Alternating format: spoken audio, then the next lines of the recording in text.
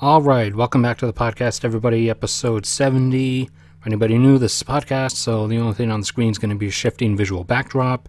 As always, if anybody wants to support the channel and the podcast or just help me be able to exist, PayPal and Patreon links are both down in the description below and at the top pinned comment. So, U.S. coal consumption, almost all of which obviously is for power generation. A few single digit percentage points are for uh, for metallurgy, for steelmaking, uh, as a supply of pure carbon. But just like with uh, civilization as a whole, obviously the overwhelming majority of coal consumption in the U.S.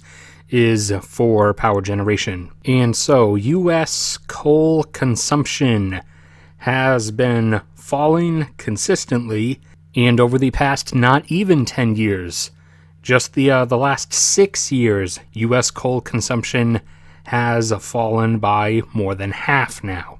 Total yearly consumption numbers for the US uh, for coal used to be about uh, a billion tons per year.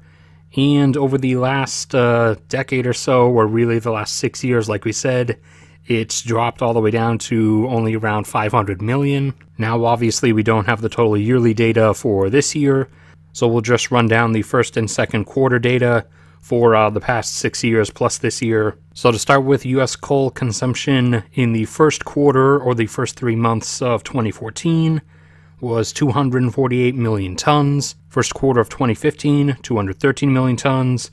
2016, 166 million. 2017, 174 million. 2018, 168 million. 2019, 158 million.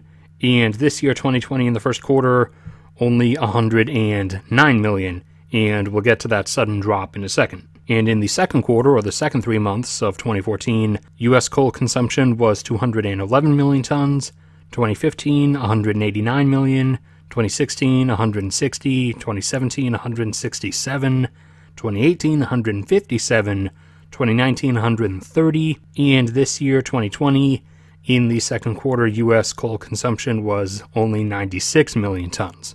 So the decline over time overall has been from uh, the retiring and shutting down of coal fired power plants as they are consistently being replaced by natural gas fired power plants. In the wake of the utter explosion of U.S. shale gas production over the last 15 years or so, granted that's rounded its top now and is uh, on its way terminally downward, so that uh, that massive power grid switchover was kind of a ill-advised heat of the moment decision, and that's actually uh, really likely going to end up backfiring on the U.S.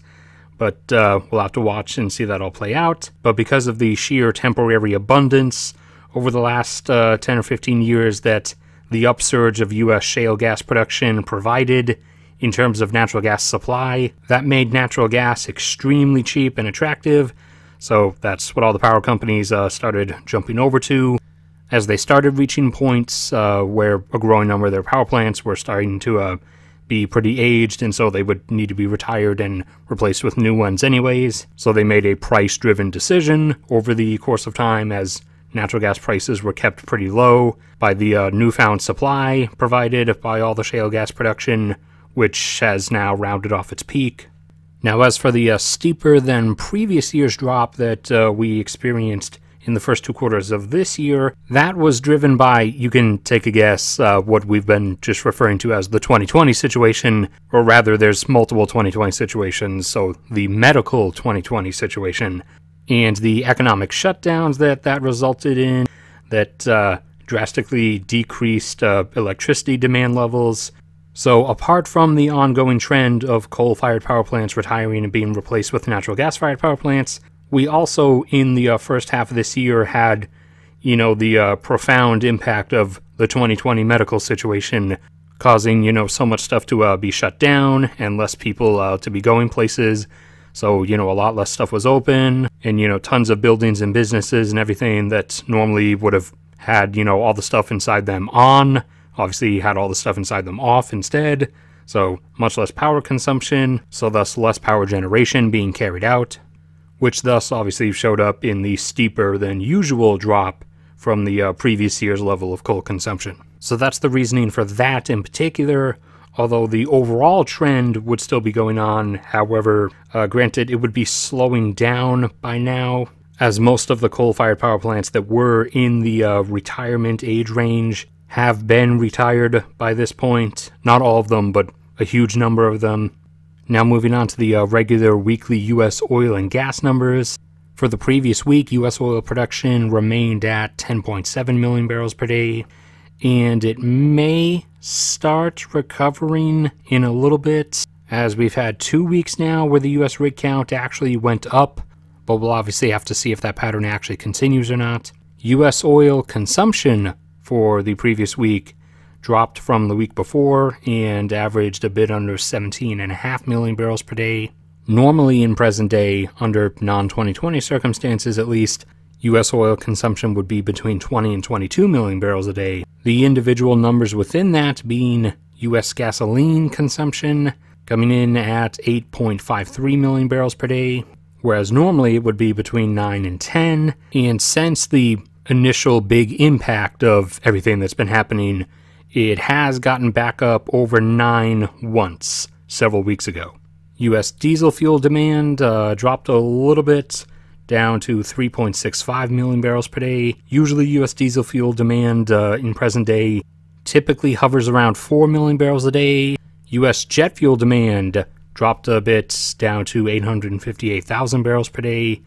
Usually, in present day, under non 2020 circumstances, U.S. jet fuel demand is anywhere between 1.6 and 2 million. And U.S. propane consumption dropped back down to 615,000 barrels per day equivalent.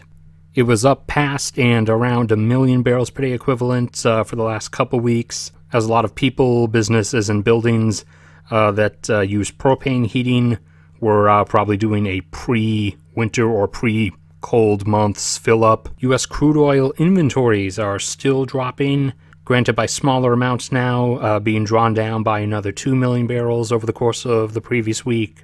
Global jet fuel consumption, U.S. jet fuel consumption included in that, after recovering back up to around 5 million barrels a day and staying there for the past two months or so, it took a sudden drop by a few hundred thousand, dropping back down now to 4.6 million barrels per day. Normally, in present day, under non 2020 circumstances, it would uh, be typically between 6 and 8 and oil prices after having dropped uh, back under $40 per barrel recovering back over $40 per barrel again now have dropped back under $40 per barrel again and uh, we're fluctuating around between 36 and 38 over in the natural gas numbers u.s natural gas production uh, recovered a little bit from the prior week back up to 98.7 billion cubic feet per day Granted, obviously below its uh, second and likely final peak of around 109 billion cubic feet per day that it hit uh, back in December or January.